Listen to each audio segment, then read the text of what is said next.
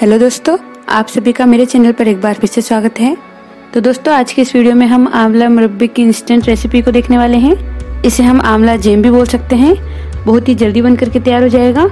आप अगर इसे इस तरीके से बनाएँगे तो ये बहुत ही टेस्टी लगेगा।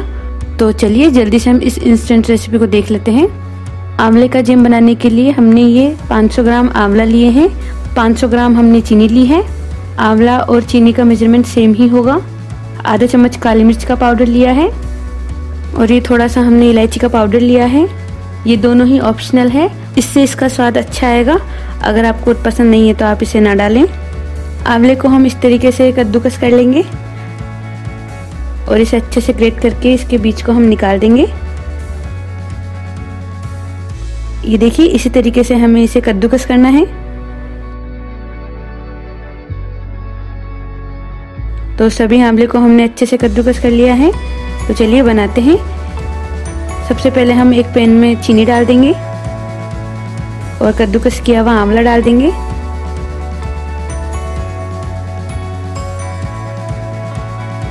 और अब इसे हम लो फ्लेम पर लगातार चलाते हुए पका लेंगे। इसमें हमें पानी का यूज़ बिल्कुल नहीं करना है।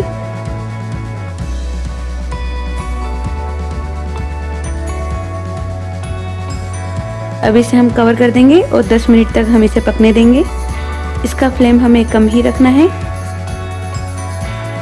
10 मिनट बाद आप देख सकते हैं, आंवले ने पानी छोड़ दिया है। इसमें हमने पानी का यूज़ बिल्कुल नहीं किया है और इसे हमें लो फ्लेम पर ही पकाना है और बीच बीच में हम इसे चलाते हुए पकाते रहेंगे।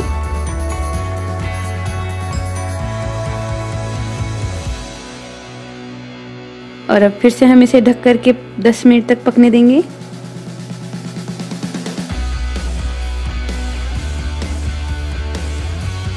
जब तक ये अच्छे से ड्राई नहीं हो जाएगा, तब तक हम इसे बीच बीच में इस तरीके से चलाते हुए पकाते रहेंगे। और फिर से हम इसे कवर कर देंगे।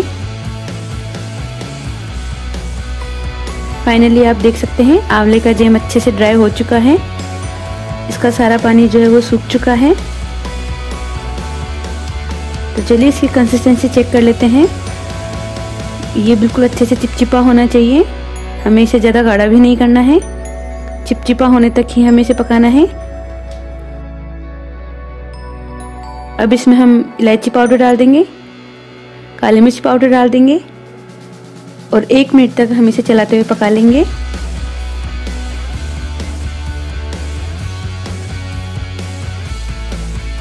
देखिए, आंवला जेम रेडी है। अब हम गैस का फ्लेम बंद कर देंगे।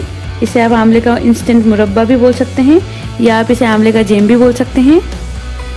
और इसे ढक करके हम ठंडा होने के लिए छोड़ देंगे। एक घंटे बाद आप देख सकते हैं, आंवले का जेम अच्छे से ठंडा हो चुका है। बहुत ही टेस्टी जेम बना है ये। आप भी इसे एक बार घर पर ज़रूर ट्राई करें। इस जेम को हम बहुत ही लंबे टाइम तक स्टोर करके रख सकते हैं। बिल्कुल ख़राब नहीं होगा ये। तो अब इसे हम एक कांच के जार में डाल देंगे। इसे आप रोज़ाना एक चम्मच खाएँ। बहुत ही हेल्दी होता है ये। तो अगर आपको मेरी ये रेसिपी पसंद आई हो तो आप प्लीज़ मेरी वीडियो को लाइक करें शेयर करें और मुझे कमेंट करके बताइए कि आपको मेरा ये वीडियो कैसा लगा। थैंक यू दोस्तों।